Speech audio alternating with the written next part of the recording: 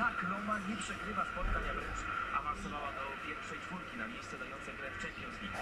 Aleksander Kularow, uderzenie zablokowane przez kosę Marię Kajekona. Mamy informację od Państwa, że są pewne kłopoty z dźwiękiem. Oczywiście bardzo przepraszamy, za chwilę.